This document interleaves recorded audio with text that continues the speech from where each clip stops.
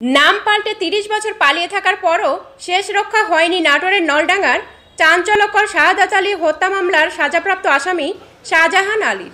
শনিবার সকালে সিরাজগঞ্জের হাটিকুমরুল এলাকা থেকে র্যাব পাঁচের একটি দল তাকে গ্রেপ্তার করেছে। উনিশশো বিরানব্বই সালে নলডাঙ্গার বারনয় নদীতে গোসল করার সময় শাহাদতকে ছুরিকাঘাতে প্রকাশে হত্যার মামলার আসামি শাহজাহান আলীকে যাবজ্জীবন কারাদণ্ড দেয় আদালত।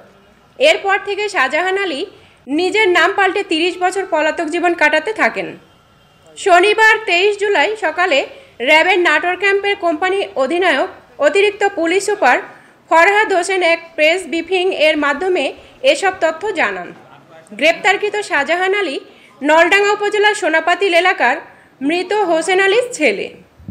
র্যাব কর্মকর্তা আরও জানান, উনিশশো বিরানব্বই সালের সতেরো মে নলডাঙ্গার বারনয় নদীতে শাহাদাতকে ছুরিকাঘাতে প্রকাশে হত্যা করে পালিয়ে যায় শাহজাহান আলী।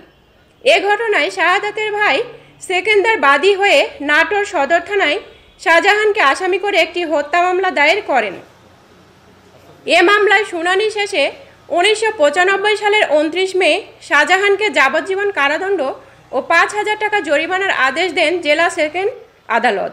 এরপর থেকে নাম পাল্টে সোহরাব হোসেন স্বপন নামে দিনাজপুরে আত্মগোপন করেন শাহজাহান। দীর্ঘ তিরিশ বছর পলাতক আসামি শাহজাহানকে ধরতে র্যাব দুই হাজার একুশ সালের নভেম্বর মাস থেকে গোয়েন্দা তৎপরতা শুরু করে। এর ধারাবাহিকতায় শনিবার তেইশ জুলাই ভোরে সিরাজগঞ্জের হাটিকুমরুল এলাকা থেকে গ্রেপ্তার করে। র্যাব আরও জানায়, নলডাঙ্গা উপজেলার পশ্চিম সোনাপাতিল গ্রামের শাহজাহান আলী এলাকার জৈনক ফিরোজা বেগমকে বিয়ে করার পর থেকে মৃত শাহাদাত ও শাহজাহান আলীর মধ্যে বিরোধের সৃষ্টি হয়। এ বিরোধের জেরে প্রকাশ্যে ছুরিকাঘাত করে শাহাদাতকে হত্যা করে বলে স্বীকার করেন শাহজাহান। মৃত শাহাদাত আলী নলডাঙ্গা বাজারে মাইক ও ব্যাটারি সার্ভিসিং করার পাশাপাশি মাছের ব্যবসা করতেন।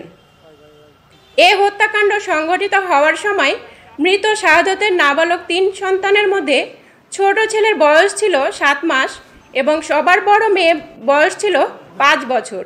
মেজ ছেলের বয়স ছিল তিন বছর। পরে গ্রেপ্তারকৃত শাহজাহান আলীকে সদর থানার মাধ্যমে আদালতে সোপর্দ করা হয়। বনলতা রাখি, চ্যানেল এ নিউজ।